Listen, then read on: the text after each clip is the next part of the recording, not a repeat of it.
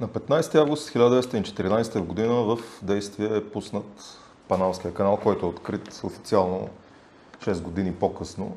Може да не изглежда голяма работа, че някой успял да прокопае канал.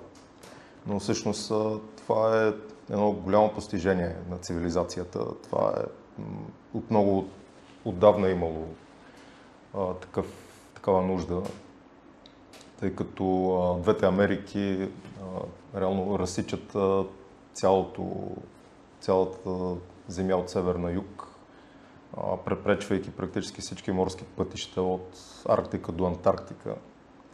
Тоест, а, всеки един маршрут трябва да заобикаля прекалено много и да минава през твърде неблагоприятни протоци.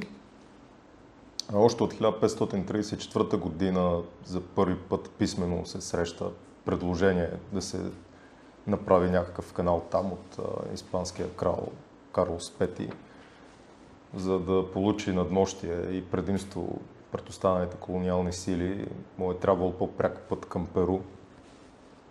В последствие и шотландци, и англичани опитват да, да направят, ако не канал, то поне някакъв устроен пешеходен маршрут до там или железопътен също така. Докато се стига до 19 век, през 1879 година французите се захващат вече сериозно с инженери и доста строителна техника да прокопаят този канал. Само, че това става малко прибързано. Те бързат да изпреварат останалите велики сили, най-вече германците, които вече имат голяма голямо влияние в Венецуела и почват да установяват контрол върху трафика над Атлантика. И французите вече търсят друга альтернатива, собствена. Само, че поради това бързане, поради липса на средства, компанията, която се захваща с това, започва да среща много трудности. Те много набързо започват проекта, не, не се съобразяват с много неща, като например влажността на терена, те правят големи изкопи, само че пък прекалено стръмни, които след първите дъждове започват почти цялата изкопана пръст се свлича обратно. А също така не се съобразяват с това, че има малария, жълта треска, все пак говорим за тропически джунгли, където работниците живеят в много лоши условия и постоянно заболяват, умират с хиляди. Стига се до там, че работници от Европа идват с корабите, носейки ковчезите си, до толкова отчаяно било положението.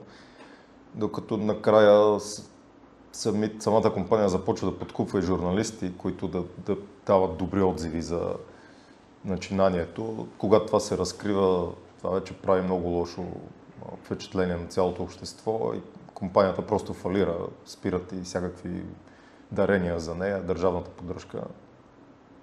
И а, след това, в началото на 20 век, американците вече се захващат по-сериозно, а, вече използвайки нова техника и нови идеи.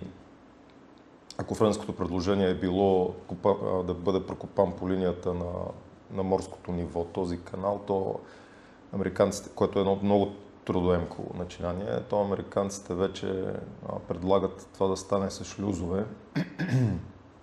Също така да се използва динамит, както и жепелени, по които бързо да бъдат изкарани огромните скални отломки, за да не се свличат обратно.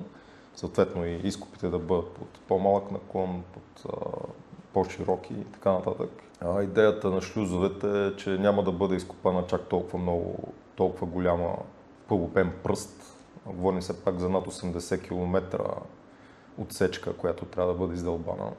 Вместо това те правят две изкуствени езера, които ги напълват от съседните реки и водоеми и чрез една каскада от по три шлюза от към двата океана.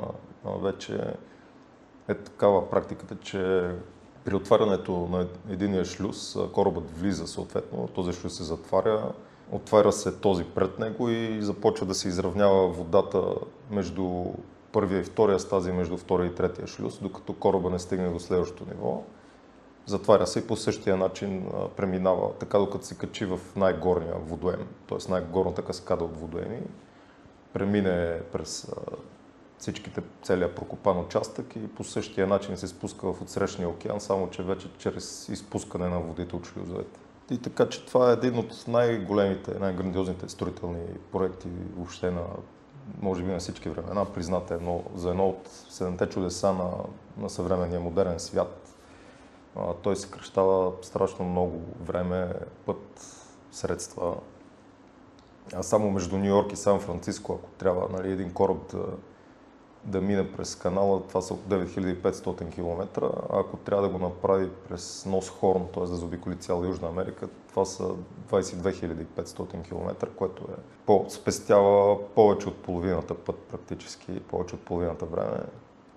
Съответно, всички, целият трафик на стоки и товари пристига много по-бързо навсякъде в глобалния свят и съответно и много по-ефтино за всички. Повече научете на наука.bg. С съдействието на фотосинтезис. Каквото и да искате да снимате, в фотосинтезис ще намерите всичко необходимо с огромен избор от фото и видеотехника. Знаете ли, че тази година Европейската нощ на учените ще се случи на 29 и на 30 септември? Събитие, което ще обхване над 10 града в България – и БГ Наука е партньор и ние разпространяваме и комуникираме информацията свързана с Европейската нощ на учените. Вижте повече на night.nauka.bg